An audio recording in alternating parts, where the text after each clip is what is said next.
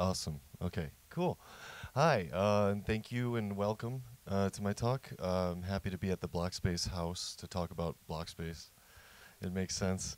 Um, yeah, so uh, we're going to be talking about uh, Blockspace uh, more from the perspective of Polkadot, but also kind of like diving into um, like what it means and, and how it is and what can be done with the the block space provided by Polkadot uh, specifically, but I'm definitely open to talk uh, to any other sorts of chains and protocols as well. Um, so yeah, I'm. My name is Phil. Um, uh, my formal background is in linguistics, um, which I did a bachelor's in. Um, then I did a lot of marketing and communications for Web two technologies, um, but I've I dove into Bitcoin in 2013 and I've been working with startups uh, in the crypto space ever since. Um, yeah, I worked at Parity, uh, which really kind of helped my knowledge around Polkadot uh, forever, and now I'm starting Lastic. So, from the perspective of Polkadot, um, Polkadot was thought of as uh, heterogeneous sharded blockchain, which is a way of saying, you know, it has a lot of roll-ups on this L1 that secures it and provides interoperability and interchain communication between those chains, as well as providing the security for all those L2s. Um, and the way they allocated this, this these um, limited supply of slots was through auctions in the parachain model. So parachains provide secure and available block space and the relay chain, which sits above it or below it, depending on your perspective, um, provides the validity and availability guarantees as well as interoperability capabilities between those chains. Um, it uses something called the validation function, which uh, is the way of determining if a parachain is behaving uh, as expected uh, to its users and uh, to the parachain itself. And there is a limited supply of uh, parachain slots. So the number of parachains cannot be infinite. There is uh, there are some restraints on this, namely because of the validation function. So if you compare this to Ethereum L2s, um, the limited block space that they have is their their uh, fraud-proof computation, or zk uh, rollup computation as well on chain. But that's kind of an optional thing at this stage for L2s on Ethereum, whereas it's pretty much required to be uh, you need to be validated by the main chain on Polkadot, which is optional in Ethereum so far. Uh, so why auctions? Um, well, auctions are, are a great way of like determining market price without uh, the engineers providing too much opinionation about how much something would cost. Um, and they're good at efficiently allocating this uh, supply. So the way it was set up is that there's one auction for one slot every two weeks or so. Uh, and this could also be controlled by on-chain governance. So there was a pause in parachain auctions for a while, uh, and then they restarted again. Uh, that was by uh, thing. And then, like an auction helps find the, that natural market price um, and without giving any opinionation. So they were designed to efficiently allocate a limited resource. And it was done in a very interesting way. I really found this to be interesting, where the auction would start uh, and then people would place their bids. Um, and then the actual time it started to measure was uh, in this ending period for five days um, where the leading bidder would win, uh, depending on the end time, which would then be determined by a random function. So from before the auction begins, you know that it's going to be measuring from uh, two days to seven days and uh, you just have to be in the lead as much as possible during then. You can't just like win at the end and expect to get the parachain slot because once the auction is over, there's a random function that determines when the end actually was after the fact. It's a VRF on Polkadot that does that. So if you were in the lead here for like one block, uh, you have like a super super slim chance of still winning uh, the entire auction, and we've seen this happen where um, some teams have, have won in surprising scenarios, such as on Kusama Network we had Altair Network, which is uh, uh Centrifuge's network, um, where this chain was winning for the majority of the time, but because of the random function determined that the end of the auction was here, that was when Altair was in the lead.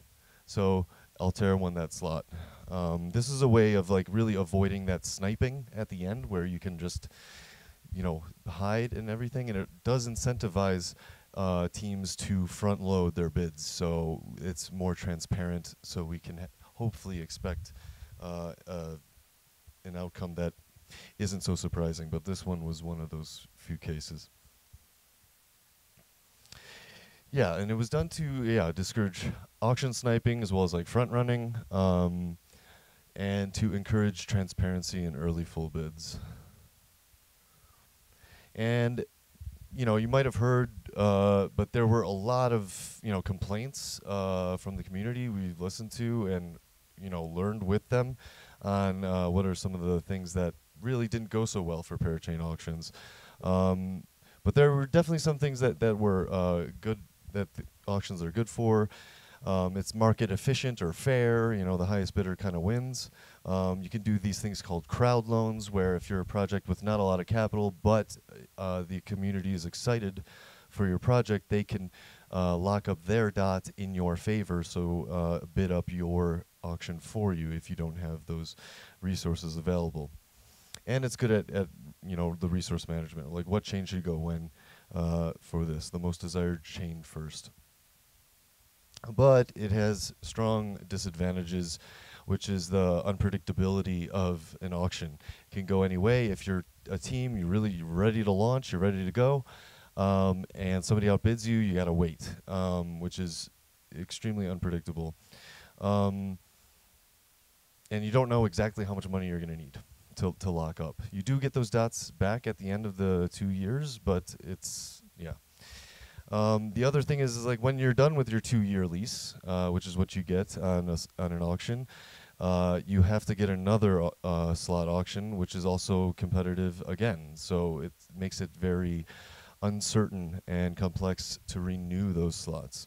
And as, as much as people think that you know auctions are fair, they're also unfair in other ways too if you don't if you're not a big fan of market economics.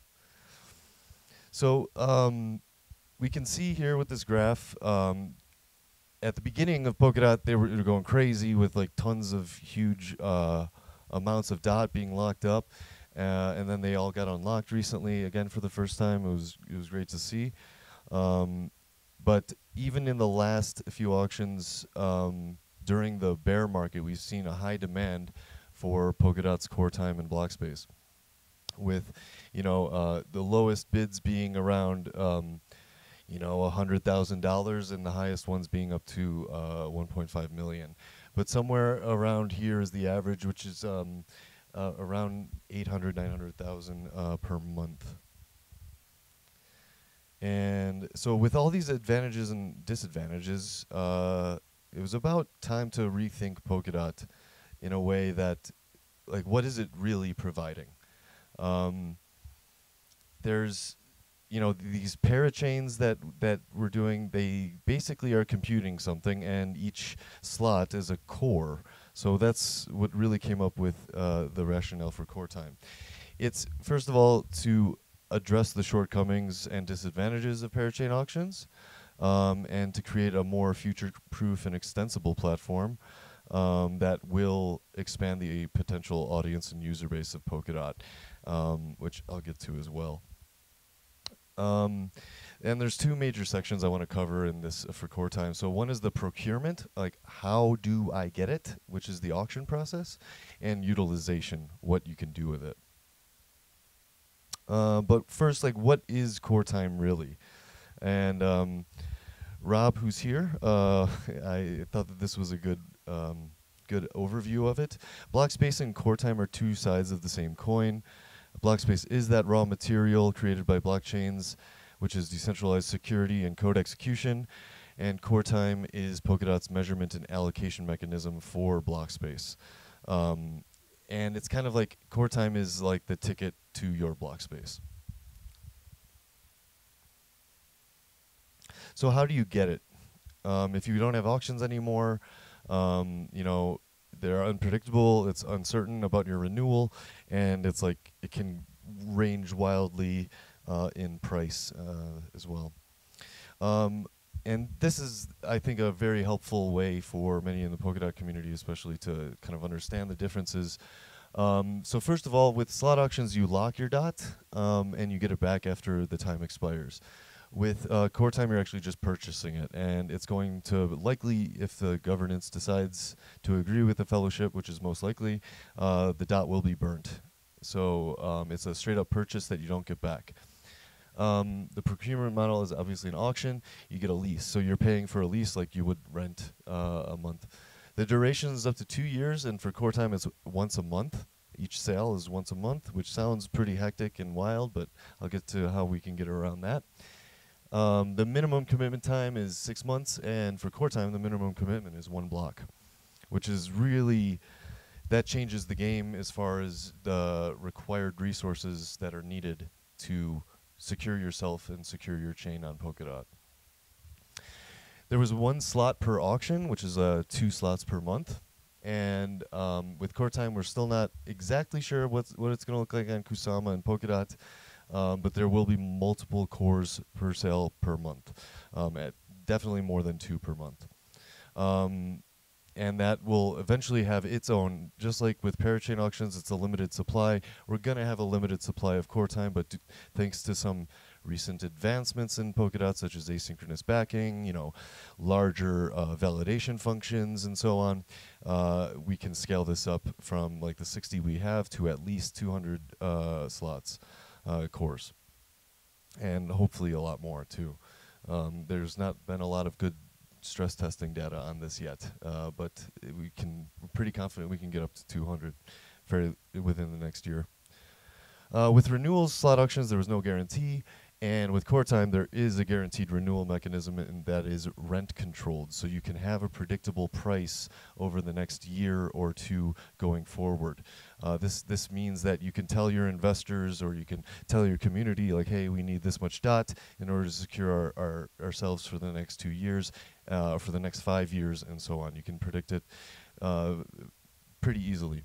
The cost uh, of the slot itself um, is uh, around 16,000 per month um, on average, and it varies wildly. And this is an opportunity cost for those dots that are locked. So this is like the the rewards you would get by staking it.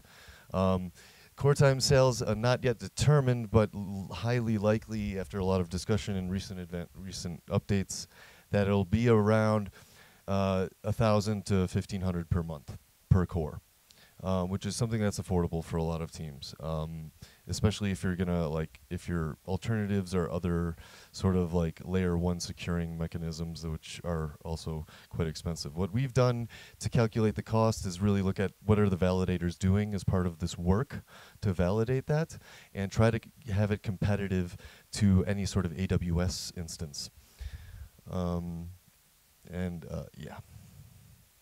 So that's like how you get it um, and this like something I want to throw in here is like how it's built. Uh, what's cool about core time uh, as opposed to the previous uh, architecture is that there's not a lot like there's a lot we can reuse. Uh, so what's not new right now is the proof of validity or validation function for now.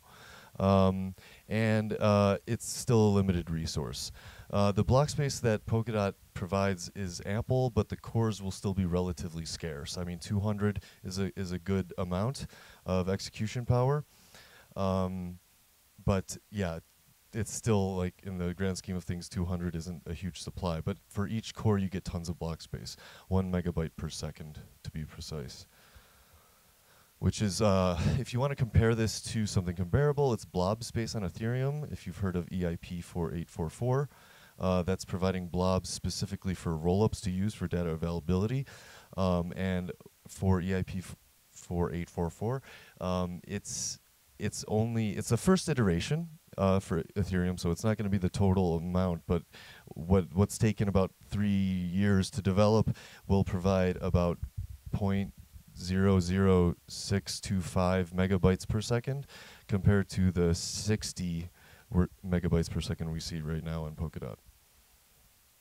What is new is on-demand core time, which is like pay as you go. That's the the thing where you can just get one block. If you just want to have one advancement uh, every whenever you want, you can do that with with Polkadot, which is something that has a nice secondary side effect. I think I would like people to explore, which is, um, you know, one of a big uh, debate in many different ecosystems is what should we set the inflation rate at? You know, like how do we know that this is the right amount of inflation, too much or too little? Um, and this is something that, like, you know, Bitcoin was supposed to solve by, you know, central banks controlling the inflation rate. Well, Bitcoin just predetermined it and set it and forget it. But something else you can do with uh, on-demand core time is say, well, let's just build up, let's create a threshold of like every 100 transactions, we create a block because we know that those 100 transactions will be worth more than the inflation we're creating um, uh, by producing a new block and rewarding validators. So you can set up things that have like actual market-driven inflation, where you wouldn't even need to worry about setting it. Uh, only you're only setting the the the ratio, and not the actual amount uh, per minute or per time unit. It's actually per usage unit. Um, and on-demand core time lives on the relay chain, whatever. um, and uh, so what is new is that there's another system parachain uh, called the Core Time Chain, which is being provided by the Web3 Foundation and uh, will be, you know, obviously public and for everyone to use. And this helps with that uh, procurement of bulk core time, so where you can get a full month's worth of core core time. This also handles assignments, which are, I have this core, I want to assign it to my chain. That's how you do it. It records that in the core time chain. You also have the ability to trade this, which is really cool. And uh, I'm not seeing this anywhere else. Um, you can also do interlacing, region splitting, all this fancy sort of um, scheduling stuff. So i think of it as a, a processor. You can use the same core for multiple chains at the same time, or you can also, that's interlacing, or you can also do region splitting or partitioning where, you know, every um, 80 blocks chain A gets validated and the next uh, 80 blocks chain B gets validated. And there's also uh, the ability of core time credits. So um, this is where you know hackathon teams and so on can they don't have dot or whatever. Um, we're going to allocate some core time credits from the treasury to give to cool teams that they can they can use. So how do I get it? We've we've done that. Um, what do I need to get it? Uh, for bulk core time sales, uh, they occur once per month for for a seven day window. Although you can still buy it after the fact if you want.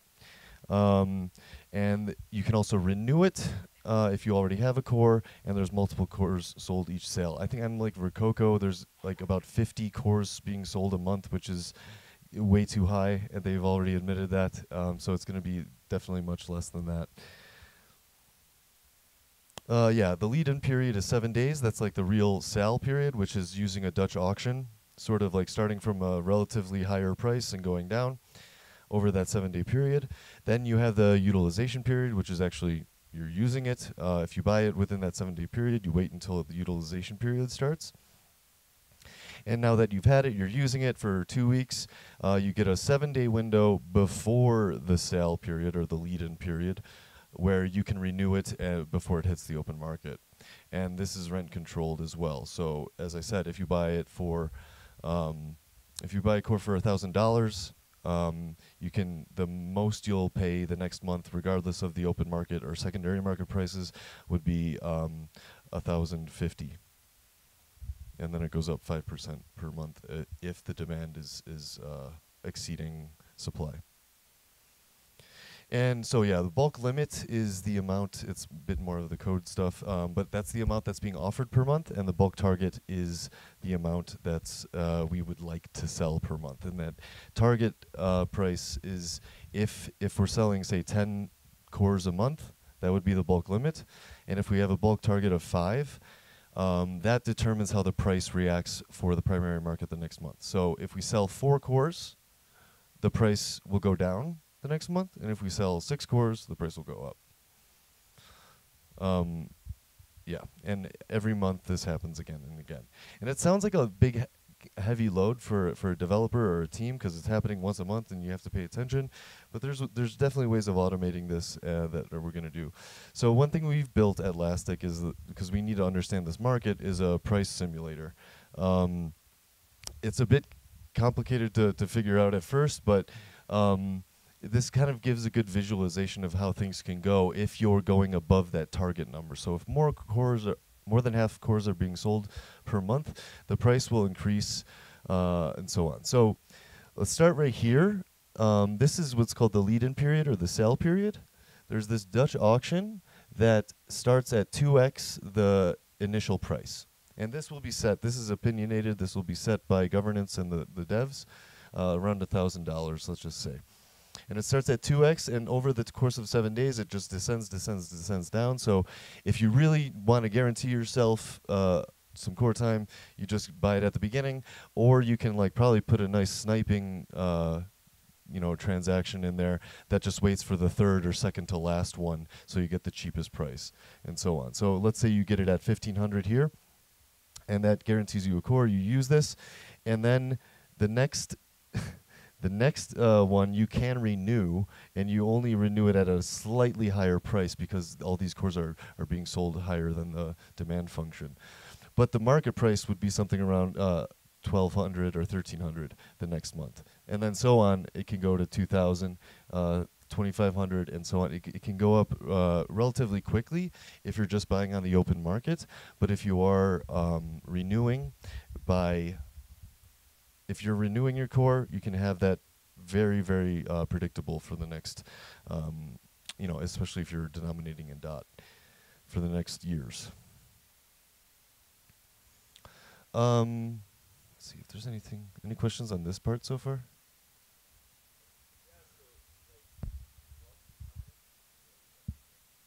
Oh yeah, that's a bad. Uh, that's yeah, yeah. This is um, this is arbitrary, but like each one of these are, are for sales. Don't. This isn't a good uh, uh, x-axis here. So it's it's really about the time. This is time, just simply time. Yeah, yeah, yeah. yeah.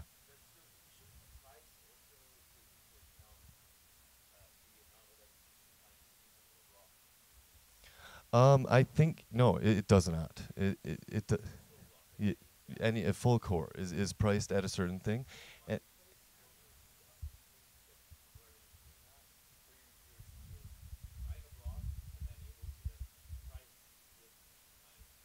yeah, yeah, that's definitely a big part of uh, of like, do you want to buy more than you're producing? You know, and you want to somehow get that that nice sweet spot where you're sort of profitable as a chain, where you're not paying too much for the block space you're using. And the thing is, like, if you're buying a full core that's like a, megabyte a second of of throughput, you might not need that much.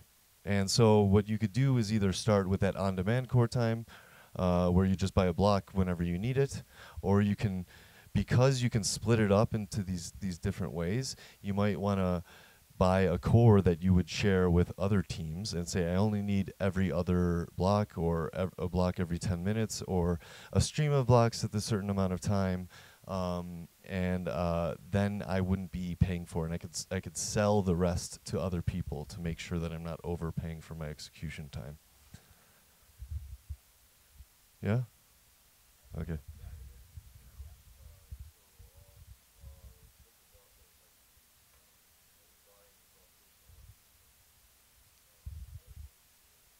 You're right now you're buying basically the idea is is is still in its early stages where it's very Polkadot focused. And so you're you're you're a parachain you developed some sort of chain. Um, if you were here earlier to see the Tanssi talk, like they make it super easy now, which is really nice. So if you have one of these and you want to deploy it on Polkadot, you would use Lastic to get the core time you need to secure yourself and get that, that secure block space on Polkadot relay chain. So yeah, you get you get the the security from the relay chain, but your own chain will have like the storage and the data availability and the execution. Yeah, yeah, yeah, Yeah, you could you could have a nested uh, core time chain that would be a little complicated, and but honestly, uh, what Tanssi's doing is most akin to that. So if you don't need if you don't need um, like a lot of core time and they they have more uh, av- availability. Like if all the Tanssi chains are using less than one megabyte, they won't probably need to do that unless they want full interoperability and security, or and, and more like more sovereignty. Um, but as soon as they get like you know a bunch of chains deployed and they have a lot of interest already, um, those kind of first ones who really want to overflow out into the system uh, can will use Lastic to do that. We've actually been working with Tanssi on integrating ourselves so that if you're a chain, you need that block space, you just use Lastic from Tanssi. And if you're Lastic, you get this block space. What do I do with it? Use use Tanssi chains to deploy something quickly. Um, so yeah.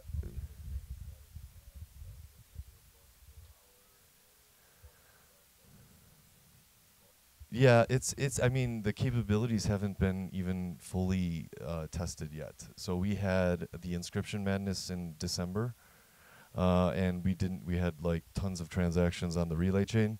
Uh, it didn't even use it all up, and um, there is a minimum fee. Yeah, yeah, but it's very very small. Like. Yeah, was you could put. Yeah.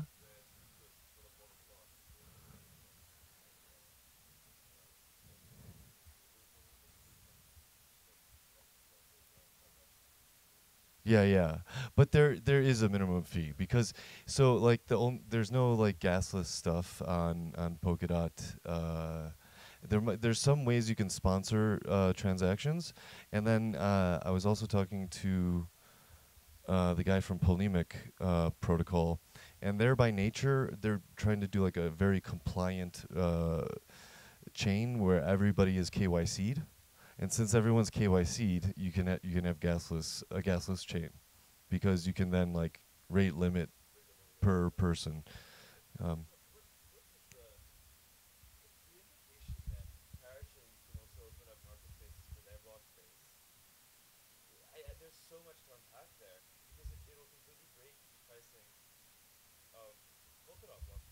how, how do you mean? Like, uh,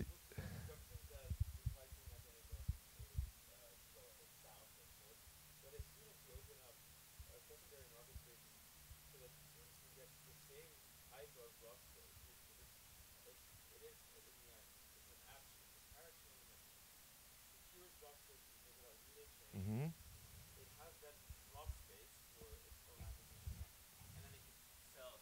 Yeah, it could. It could.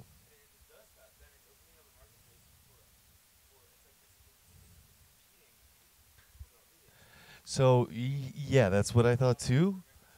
There's a very important detail in this. No, no, no. This is fine. No, that's because I I thought through this as well. Um, and like I thought of that too, but I was reading the spec closer, and so there's a very important detail with, re- with regards to renewal. So if I'm a parachain, and I I want this renewal, like I want to be able to renew every month, because then I get it cheaper and I can not think about it. I can automate that, and I don't need to worry about the, the secondary market price or the primary market open market price. Um, however, when I, I can only renew if I'm using my core and I don't split it up. So as soon as I split it up to sell it, I can't renew it. And that's a very important detail. So if you're a parachain, you should not split up your blocks. You should not split up your core, unless you buy an extra core, eh, where you like, okay, we're gonna have some extra computation requirements next month. Uh, we have a big drop happening. Let's get an e- extra core or two to make sure that we're not gonna like spike our gas fees. But at the time of the launch comes, oh, we didn't need that much. We can start selling that extra block space and still maintain our renewal to our parachain slot, so to say. Yeah, it's rent controlled too, which, which, uh, yeah, I have some.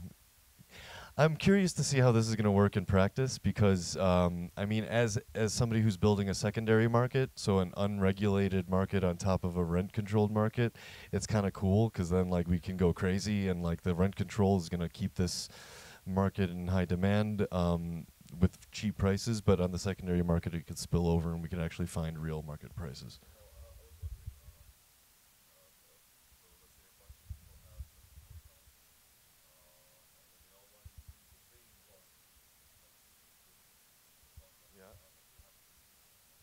No, not not with the way. So if if I need block space, I would use a separate core.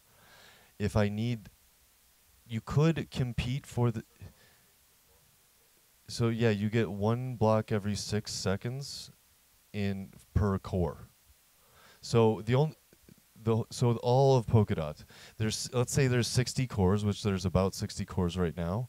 Um, there might be more at this point. I'm not sure. Um, um, there's about 60 cores right now. You get one block, so that means there's 60 blocks being produced every six seconds, 12 six seconds, but there's, let's just say six seconds. Um, and the only competition is like if I have my core, I'm not competing with it. I know I'm going to get my block every six seconds for my core. Yeah. If you own a core, yes. No, no, it's just it just gets it's an empty block. It's an empty block still with a header and uh, and all that stuff. Yeah, yeah, it's still it, but that's on your your chain. So the only time you would compete with the blocks is if like um, if all the resources get filled up and then like people start splitting and selling and then like people will compete to bid in in our marketplace to get uh, the certain blocks at certain times.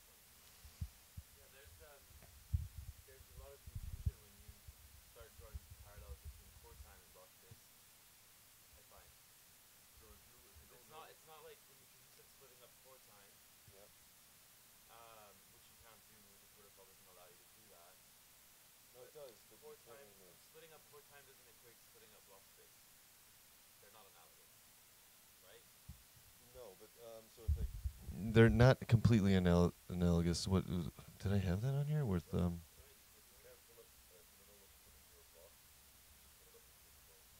Yeah, so uh, interlacing is is that thing where you can do like we don't see this happening honestly in very much or region splitting.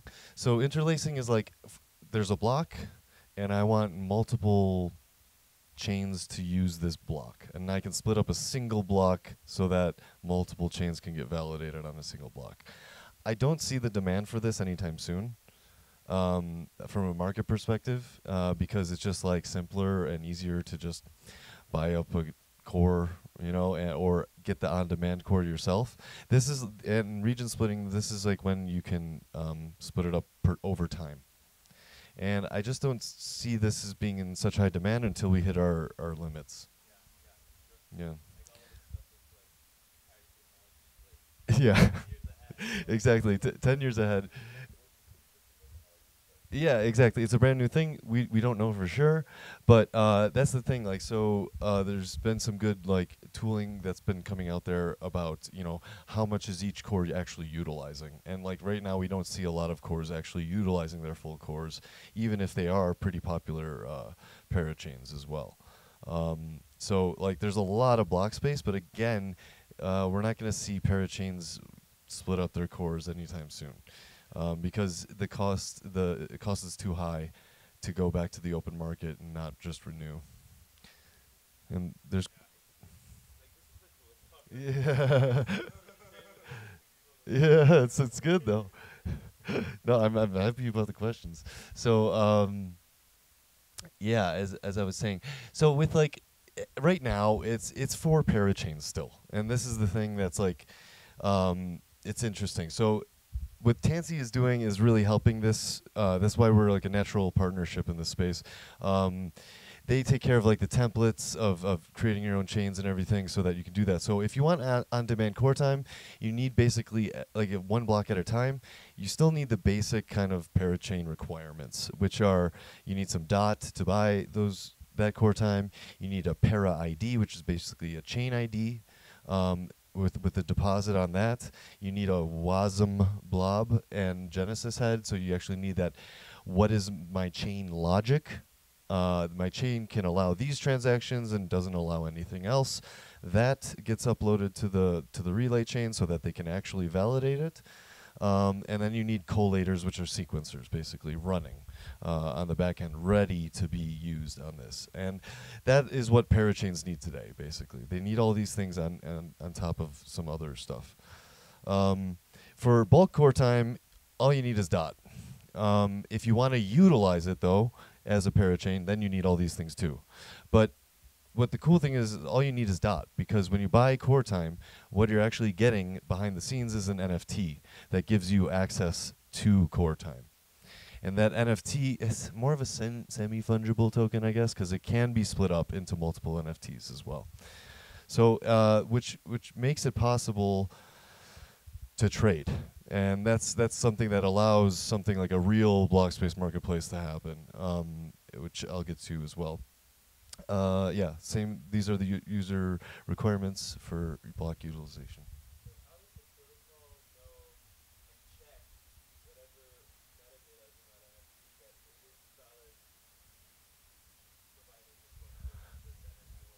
Okay, yeah, that's the, the core time chain is what provides that. So the core time chain has a bunch of cores that go on sale and, and are assigned and everything. It's the bookkeeping of who owns what. And when I buy a core, uh, it says I own it, and that I could either trade it, or assign it, or split it up, or yeah, utilize it myself, or utilize it for somebody else, or split it up into multiple things that then can be utilized, or further traded down the road as well.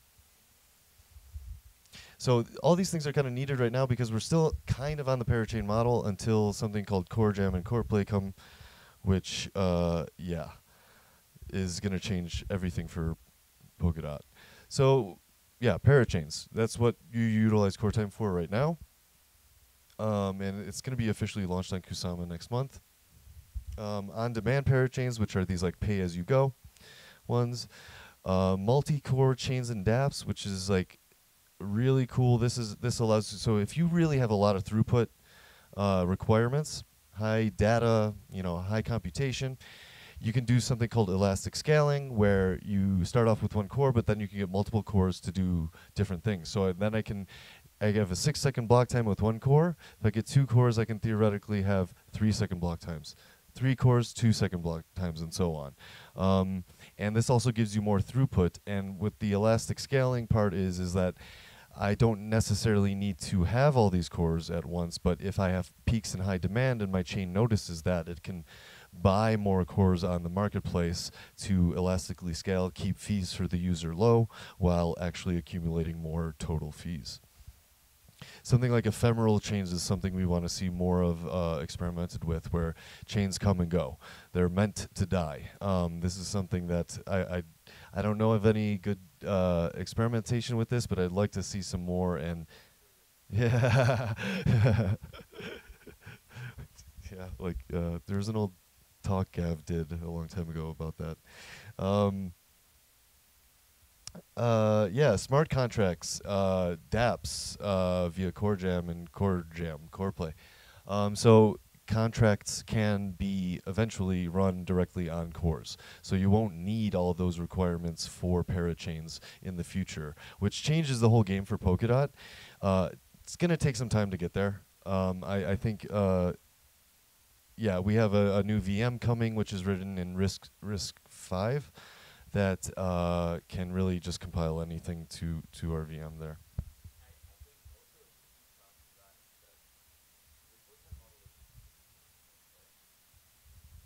I mean, in what what way permissionless?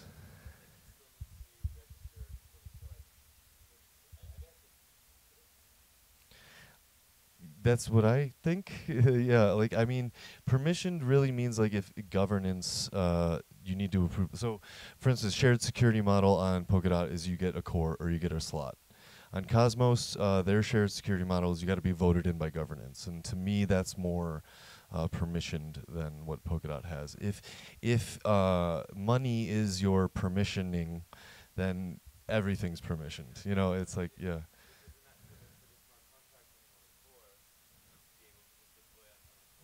Yeah, just deploy on a core. Use buy one block, and and then if you need, uh, again, you build up some some transactions, buy another block, and and get it moving a step forward again.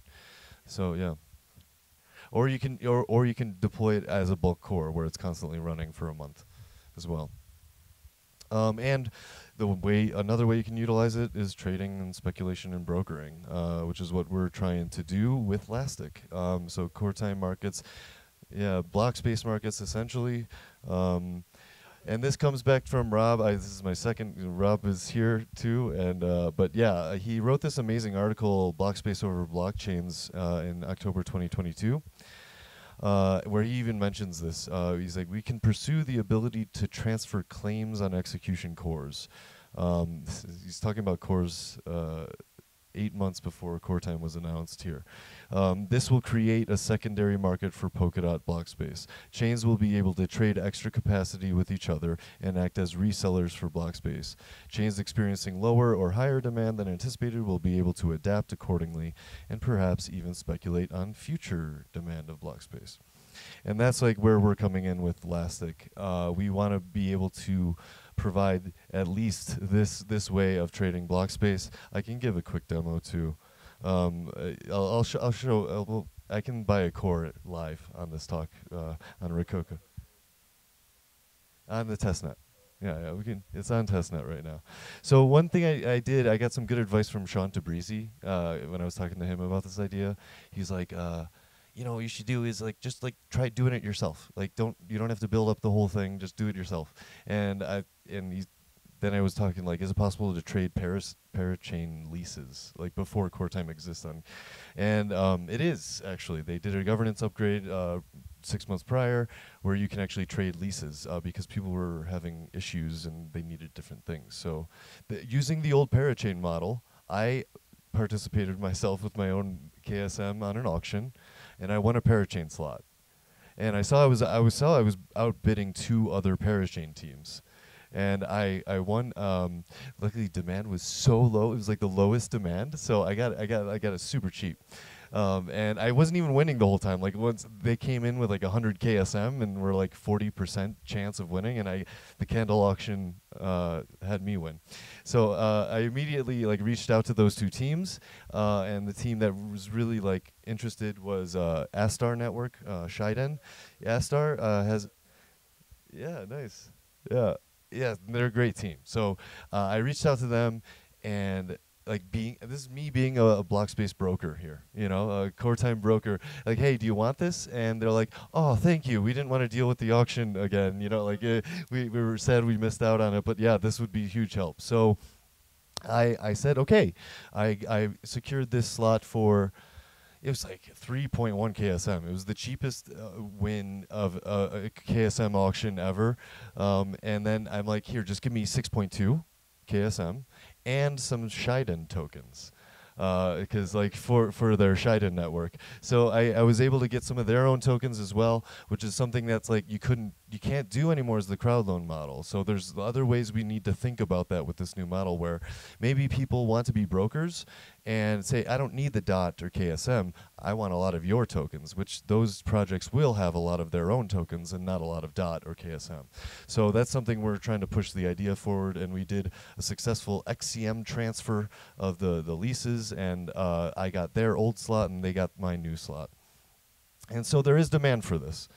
Um, and yeah, that's it. But here, let's uh, let's do a quick demo. Um, hold on here. So this is oh, it's all messed up because the different size.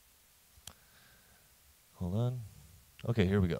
So this is uh, the test network version of Lastic. It's on the Rococo core time right now.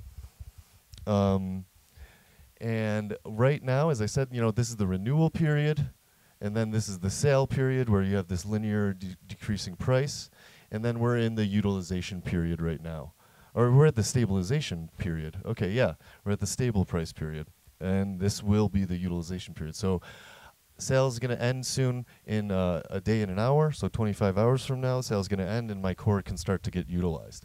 Um, I can go down here. The current price is like re- extremely low on the test network, of course.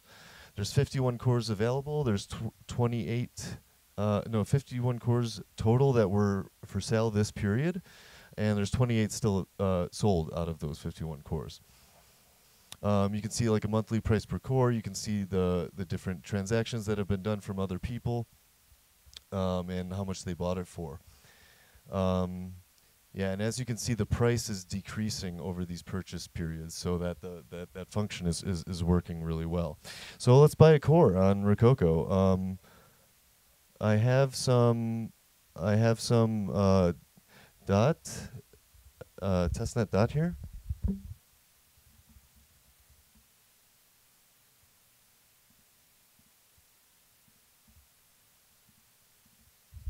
Okay, and it's broadcast. And let's see. Hopefully, Rococo was and it's in block. So I have th that core now. And so if I go back, if I go over to my cores, and here. Here's the core I just purchased. And so I, I have a bunch of cores. Um, I kind of might have bought a lot. Don't, don't, oh shoot, uh, it's being recorded here. Um, and now what I can do is, like for now, it's again we're gonna have, you know, combine, split up. Uh, I can transfer it and assign it. So assign it. All I need to do is put my para ID in here uh, for my parachain, and it's it starts functioning uh, as soon as the utilization period starts. Uh, just type in my, my ID, my chain ID, basically. But I can also transfer it. So if somebody wants to give me, um, do you have a Rococo address, Sasha? Yeah. send it to me on Telegram. Yeah. yeah. It's it's literally an NFT, uh, and uh, what he can do now is he can spin up a chain in the next 25 hours, and assign the core to himself, his own chain, whatever he wants to do with it, and start utilizing the block space on Polkadot. Um. You're sending? Yeah. Okay, hold on. Uh, I want to be careful here. Okay, cool. Up. I want to be careful here. Hold on. Just don't want to expose all my chats here. okay, boom. Okay, sweet. So boom, transfer. Got to approve again. No, this is a this is it's broadcast. Uh, and and uh, and you should you should be able to go to test.lastic.xyz uh, and log in with that Rococo address and see your core.